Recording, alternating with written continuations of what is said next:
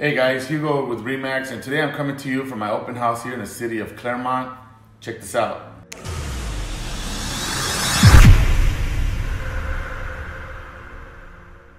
Guys, city of Claremont, 2100 plus square feet of living space.